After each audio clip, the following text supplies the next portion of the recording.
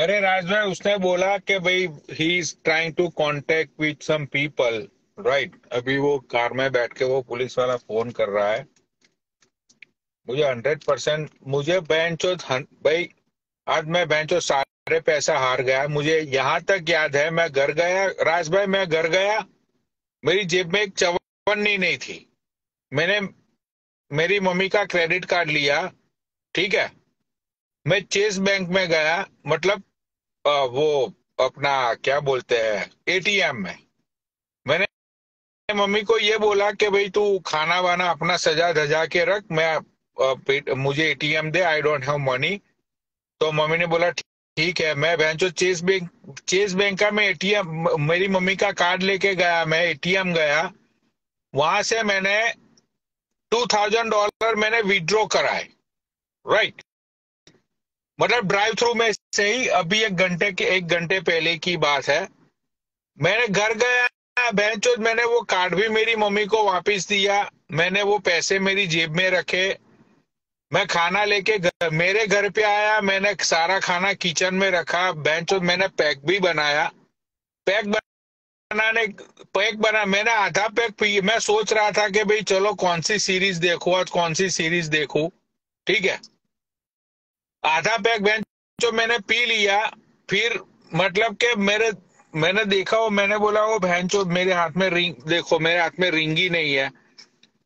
भाई, मुझे सब कुछ याद है कि जब मैं वहाँ चेस बैंक में गया तो एटीएम में मैं जब गया तो मैंने ध्यान नहीं दिया कि मेरे हाथ में रिंग है या नहीं है। ठीक है? वहाँ से खाना लेके, उस टाइम भी मैंने ध्यान नहीं दिया। मेरे घर पे मैं गया, उस टाइम भी मैंने ध्यान नहीं दिया। जब भैंसो मैंने पैक बनाया, मैंने हाथ में ग्लास लिया, मैं आधा पैक पी गया, फिर मुझे रियलाइज़ हुआ, क्यों भैंसो मेरी रिंग तो कहीं पे गिर गई है? फिर भैंसो, वहाँ मैंने, मम्मी को तो मैं बता नहीं सकता कि बहन रिंग ऐसे मैंने कहीं पे खो दी है। ऑलरेडी बहन चो पैसे हार के आया था मैं कसिनो में। रुक जाओ भाई, ये बुला रहा है बाहर yeah.